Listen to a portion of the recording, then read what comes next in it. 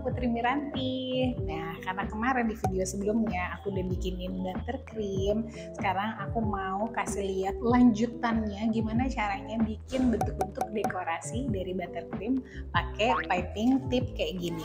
Ada dua macam, kita pakai yang 5B sama 1M. Oke, langsung aja ya kita bikin. Oke, jadi bentuk yang pertama yang paling simple kayak gini, jadi kita tinggal terus angkat.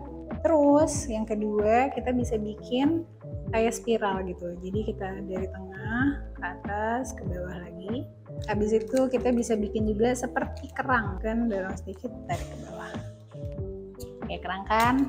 Nah terus udah gitu selanjutnya kita bikin zigzag. Terus selanjutnya kita bisa bikin kayak uh, bunga oke terus kita bisa sambil diputar sekarang ini kita akan pakai tip yang 1M dengan bentuk yang sama.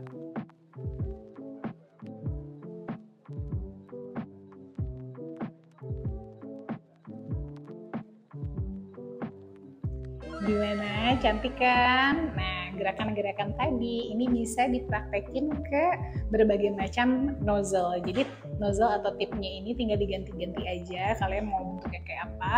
Terus kebanyakan ini bisa dipakai gerakannya karena ini adalah uh, basic dari gerakan dekorasi pakai buttercream Selamat mencoba, semoga berhasil. Kalau berhasil, please banget naikin aku, aku pengen lihat juga. Yang mau request dibikinin resep lagi, boleh silahkan langsung aja komen di bawah. Semoga nanti aku bisa buatin.